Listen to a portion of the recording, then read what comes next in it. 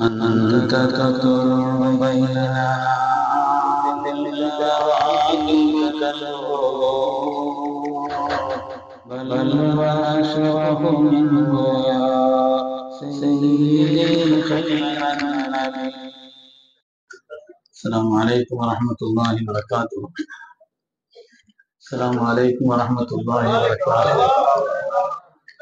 الحمد لله கண்ணியமிக்க மோமினின்களே இன்று ஓதப்பட்ட சூரத்து ஆல இம்ரானுடைய ஒரு வசனத்தில் அல்லாஹ் சொல்கிறான் இந்த துபரவுன்ன ஃபி அம்பாலிக்கும் வாம்புசிக்கும் உங்களுடைய பொருளாதாரத்திலும் உங்களிலும் நீங்கள் சோதிக்கப்படுவீர்கள் وَلَتَسْمَعُنَّ مِنَ الَّذِينَ أُوتُوا الْكِتَابَ مِنْ قَبْلِكُمْ وَمِنَ الَّذِينَ أَشْرَكُوا أَذًى كَثِيرًا உங்களுக்கு முன்னால் வேதம் கொடுக்கப்பட்டவர்கள் இணை வைப்பாளர்கள் அவர்களிலிருந்தும் நீங்கள் பல்வேறு விதமான நோவினைகளையும் கூட கேட்பீர்கள் என்று நான் சொல்கிறான் இந்த ஆயத்திற்கு விளக்கவரை சொல்ல வந்த பெருமக்கள் பல்வேறு காரியங்களை சொல்கிறார்கள்.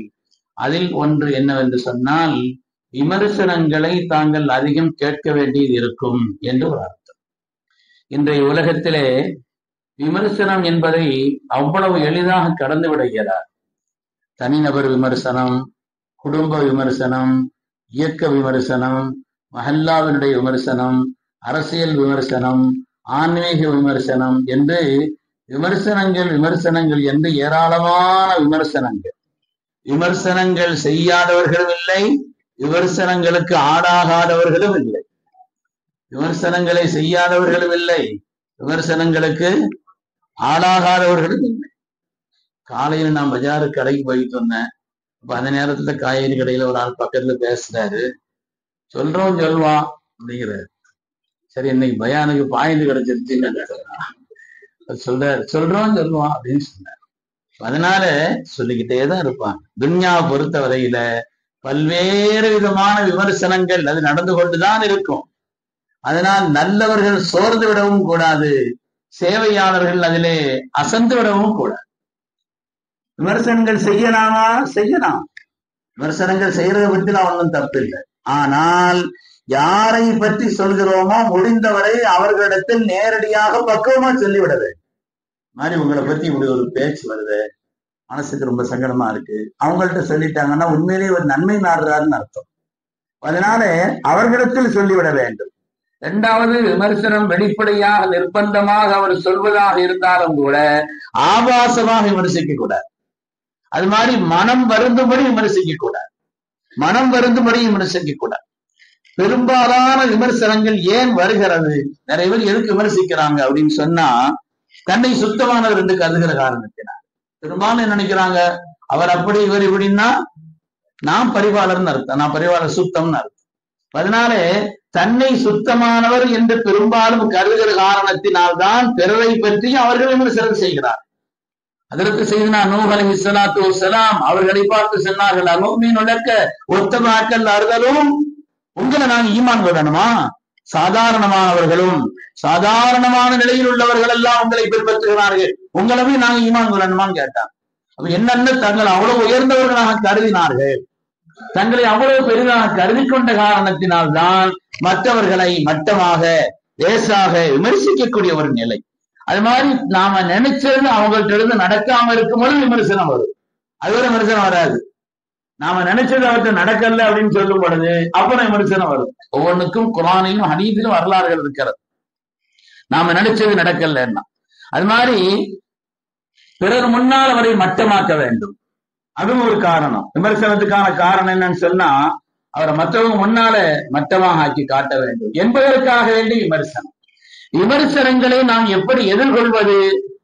என்றால் பல்வேறு நிலைகள். முதலாவது என்னன்னா பெரும்பாலான விமர்சனங்களுக்கு பதில் மௌனம் தான் பெரும்பாலான விமர்சனம் அது தானா அடங்கிடும் அமீத்துல் பாத்தில விஸ்வம்தியான் அதற்கு ஒருவர் சத்தாவுதான் சொல்வார்கள்.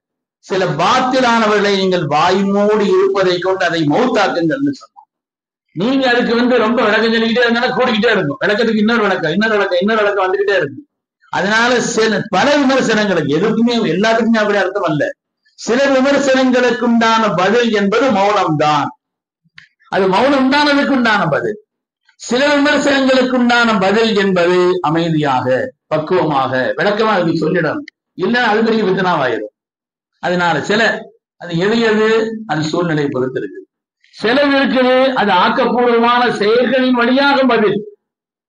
வந்து முஸ்லிம்களை பொறுத்தவரையில கல்வியில ரொம்ப பின்தங்கி இருக்கிறாங்க அப்படி இருக்கிறாங்க கவனம் இல்லாம இருக்கிறாங்க முஸ்லிம்களை பற்றி மற்றவங்க விமர்சிக்கிறாங்கன்னு வைங்க. இதுக்கு பதில் என்னன்னு சொன்னா அமைதியா இருக்கிறதும் அல்ல.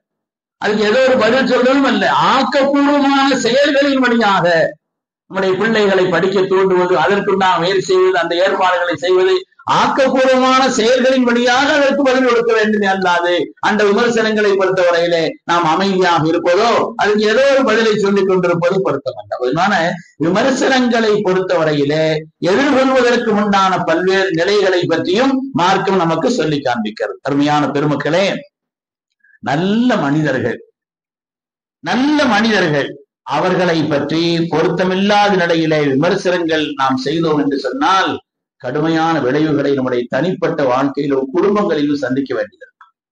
நல்ல மனிதர்களை யாருமே பாவமே செய்யாத ஆட்கள் நம்ம மாசூமிங்களாக நபிமார்கள் தான் மாசூமியங்கள் எல்லா விதமான பாவங்களை விட்டு பாதுகாப்பை பெற்றவர்கள். மற்றவர்கள் பாவங்கள் செய்வதற்குண்டான நிலையில் இருக்கலாம் குறையும் இருக்கலாம் பல குறைகளை செய்திருக்கலாம் குறைகளை செய்யவும் செய்கிறோம். அப்படி இருக்கும் பொழுது அதை வந்து சொல்றது பக்குவமா சொல்லணும் இல்ல சாலிகின்களை அருளாளர்களை நன்மக்களை உலமாக்களை அருளாளர்களை எல்லாம் குறை சொல்லும் பொழுது அவர்களின் வழியாக நாம் பெறக்கூடிய மார்க்கத்தை நாம் இழக்க செய்கிறோம்னு அர்த்தம். அவங்களை பற்றி இந்த ஆயிஷா நாயை பார்த்து நல்லா பாதுகாக்க வேண்டும். பரிசுத்தமான அவர்களை பற்றி குறை சொல்ல ஆரம்பித்தால் உலகத்தில் அவர்கள் சொல்லி காண்பித்த ஆயிரக்கணக்கான ஹதீதுகளின் மீது அல்லவா நமக்கு மாற்று எண்ணம் ஏற்பட்டுவிடும்? அதற்கு அபுபுரையா இருந்தாக்கிறான் அவரை பற்றி என்ன இழிவா நான் வந்து இயக்கத்துக்காரன் என்ன கொச்சையாக எழுதினார்கள்? என்று சொன்னால் என்ன விளைவு வரும்? அவர்கள் சொல்லி தந்த உலகத்தில் அவர்கள் தானே உலகத்தில் ஹதீதுகளை அதிகமாக அறிவித்தவர்கள். அவங்களுடைய ஹதீஸ் மீதெல்லாம் நன்னம்பிக்கை ஏற்படுமா? அதற்கு அமதுபின் ஆசிரியர் நான் பெரிய சாமி அவர்களை பற்றி எழுதினான் ஒரு அயோக்கியன் கிரிமினல் என்று எழுதினான். என்றால் அப்படி இவன் சில பேர் இவங்க சொல்லியாச்சுன்னா அது வரை சரி அப்படின்னு நினைக்கிற ஆட்கள் அதற்கு அமருபின் ஆசன் நான் விவாதம் அது போல அதை பத்தி இவன் எப்படி பார்ப்பான்? அதனால நல்லவர்களை சாணிகங்களை அருளாளர்களை விமர்சிக்கும் பொழுது ரொம்ப கவனமா இருக்க அதனால் விடக்கூடிய விளைவுகள் இருக்கிறதே அதனால் உண்டாகக்கூடிய ஆபத்துகள் இருக்கிறதே சாதாரணமானது. அருமையானவர்களே அதனாலே விமர்சனங்கள் என்பது அது செய்யலாம். அவர்கள் மீது நல்லெண்ணம் கொண்டு முடிந்தவரை நேரடியா அவர்களுக்கு சொல்லி சொல்வதாக இருந்தாலும் பக்குவமாக. விமர்சனங்கள் செய்யக்கூடாதுங்கிறது இல்லை நாம் எல்லாம் அடிக்கடி கேள்விப்பட்டதுதானே ஹாரூன் ரஷீத் பாதுஷாவிடத்துல சொல்லும்போது அவர் என்ன சொன்னார்? நான் ஒரு தப்பண்ண அதை சொல்றீங்க பக்குவமா சொல்லலாம் அத? நீ பக்குவமா சொல்லலாமே. உங்களை விட சிறந்த ஒரு மனிதரை என்னை விட மோசமான ஒருவரிடத்தில் எல்லாம் அனுப்பினான் அப்படிமா அல்ல பக்குவமா சொல்லுங்கன்னு சொன்னா. இவ்வளவு கடுமை வேண்டியது இல்லையே இவ்வளவு கடுகடுப்பான நிலை வேண்டியது இல்லையே உங்களை விட சிறந்தவரான மூசா அலஹி சலாமை என்னை விட மோசமான பிறவனிடத்தில் எல்லாம் அனுப்பினான். அனுப்பும் பொழுது பக்குவமா சொல்லுங்கன்னு சொன்னா. நீங்க மூசாவோட கூடின ஆளும் இல்ல. நான் பிறாவனோட மோசமான ஆளும் இல்ல. பக்குவமா சொன்னா என்ன அதனால விமர்சனங்கள் செய்யலாம். மாற்று கருத்துக்கள் சொல்லலாம். அத யார் என்ன சொன்னா நான் ஒன்னும் பொருட்படுத்த மாட்டேன். அதுவும் கூட. விமர்சனம் வரக்கூடிய அளவிற்குண்டான நிலையில் நம்மை நாம் ஆக்கிக் கொள்ளவும் கூடாது. அதுலயும் முக்கியமான ஒரு விஷயம் தான் விமர்சனங்கள் வரக்கூடிய அளவிற்கு அப்ப நம்மளை அப்படி ஆக்கிக் கொள்ளவும் கூடாது. முடிந்தவர் அதை தவிர்க்க வேண்டும். நாம் மனிதர்கள் தான் குறைகள் உள்ளவர்கள் தான் குறைகள் செய்பவர்கள் தான் செய்தவர்கள் தான் அப்ப அதனால ஏதாவது ஒன்று வரும் பொழுது நம்மளை பக்குவமா மாற்றிக்கொள்வதற்குண்டான ஒரு நிலை. அப்படி இல்ல நாம் அவங்களை மட்டப்படுத்தணும் குறப்படுத்தணும் கேவலப்படுத்தணும் என்று விமர்சனம் செய்தால் அதனுடைய விளைவுகள் கடுமையாக இருக்கு. செய்தனா சாஹிபன் அபி வக்காஸ் அலி அல்லாஹன் அவர்கள் கூஃபாவினுடைய கவர்னராக ஆட்சியாளராக நியமிக்கப்பட்டார்கள். ஒரே அவர்களை பற்றி விமர்சனம். அவர்களை பற்றி ஏராளமான விமர்சனம். இன்னவலாய் சினோ இன்னவுலாய் அவர்களை பற்றி வருகிறார். இன்னவலாய் சினி சொல்லி ஒழுங்கா தொழு கூட மாட்டுகிறாருன்னு சொன்னாங்க. ஒழுங்கா தொழு வைக்க மாட்டுகிறார். உமரெல்லாம் பார்த்தாங்க இவ்வளவு விமர்சனங்கள் அவர்களை பற்றி வருகிறது என்று சொல்லி ஒரு குழு போட்டு விசாரிக்கிறதுக்கு அனுப்புனாங்க. நீ பார்த்தா அப்படி ஒண்ணும் தெரியல. அவங்க ரொம்ப சரியா தான் இருக்கிறாங்க. இருந்தாலும் இப்படி மாதிரி அவங்கள பற்றி விமர்சனம் பல நிலைகளில் வருகிறது. இன்னைக்கு உள்ள காலமா இருந்தா சொல்லவா வேணும்? சுகானம் தான் இன்னைக்கு இன்னும் ஒரு மெசேஜ் தான். அது வந்தா போதும். சரியா இல்லையான்னு நான் பாக்குறது இல்லை. ஆல் ஃபார்வேர்டு அவ்வளவுதான். மொத்தமா எல்லாத்துக்கும் அனுப்பிச்சு விட்டுறது. சொன்னாங்கன்னா உலகத்துல அவன் பொய்யன் என்பதற்கு அது போதும் சாட்சின்னு சொல்ல இது உண்மையா இல்லையான்னு பாக்குறது இல்லை. எல்லாத்தையும் மொத்தமா என்ன செய்யறது? இதை அனுப்பி சொல்றதுங்கிறது கபாபில் மரி கலிவன் ஐயோ ஹத்தி சபி குல்லிமா சமிய. கேட்டதையெல்லாம் பிறருக்கு சொல்கிறானே அவன் உலகத்தில் பாடு என்பதற்கு அது போதும்னு சொன்னான். அதனால இந்த விஷயத்துல கவனமா இருக்கணும். அதற்கு தான் அனுப்புனாங்க. இங்க இருந்து போய் விசாரிச்சா. ஆனா அதுல ஒருதன் நான் சொன்னலையே அவங்கள மட்டப்படுத்தணும் குறப்படுத்தணுங்கிற எண்ணத்தில் உள்ளவன் தான் பெரும்பாலும் விமர்சிப்பான். அப்படி ஒரு ஆள் அந்த சபையில் இருந்தான். வந்து அபுசாய் தான் கெட்டிக்கார ஆள் தான் அவனும் கெட்டிக்கார ஆள் தான் அவர் சொன்னான் லா يعدل بالقضية ولا يقسم بالسوية ولا يسير بالسرية அவர் வந்து நீதமா தீர்ப்பு செய்யறது இல்லைங்க பங்கு வைக்கும் பொழுது நீதமா பங்கு வைக்கிறது இல்லை அது மாதிரி படைகளுடைய நிலைகள் வரும்பொழுது எங்களோட அவர் வருவதில்லை என்று அவங்கள பத்தி நிறைய குறைகளை சொன்னான் குறைகளை சொன்ன உடனே அதற்கு செய்தினா சாகுரதியில் தான் அவங்க இடத்துல விசாரிக்கப்பட்டுச்சு. ரொம்ப மனசு வருத்தப்பட்டாங்க. நல்ல மனிதர்களிடத்துல வந்து ரொம்ப நீதமா நடக்கும் பொழுது அவங்கள பத்தி தேவையில்லாத அளவுக்கு மீறி விமர்சனம் செய்யும் பொழுது மனசு வருத்தம் வரும். ஒன்றை விட்டுட்டு போயிடுவாங்க. அவ்வளவுதான். நமக்கு எதுக்கு இந்த பிரச்சனைன்னு சொல்லி அந்த பொது காரியங்களுடைய நிலைகள்ல அதை விட்டு ஒழுங்கத்தானே செய்வார்கள். அதனுடைய குற்றங்கள் யாருக்கு வரும்? அதற்கு செய்து நான் சாகர் அல்லாஹு சொன்னாங்க அல்லாஹும்ம இன்கான காவிபன் இது உண்மையா இருந்தா இப்படி நடக்கட்டும்.